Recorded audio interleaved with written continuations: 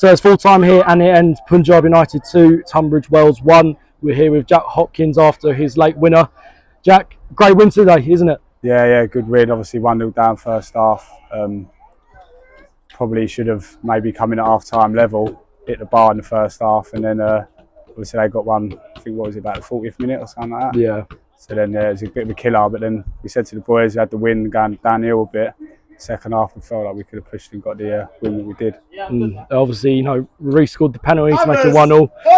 Come on. Yeah, and then uh, 90th minute, all into the box, and it was just a free header, wasn't it? Yeah, to be fair, I'm buzzing for Reese because the geezer's got goals in him, and he so he's got his first goal. I think he's going to get many more now. Hopefully, he just keeps him going and scoring.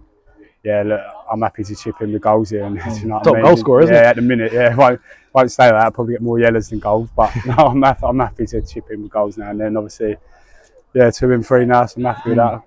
Keep that return, that would be lovely, wouldn't it? Yeah, obviously, that's three wins out of three. Very good Yeah. start. Just keep going, really. Yeah, yeah, yeah. Three out of three. Obviously, the lads are disappointed we actually conceded today because we were trying to build up momentum and foundation. Obviously, two games before today, two clean sheets. Didn't really give any chances away in those games.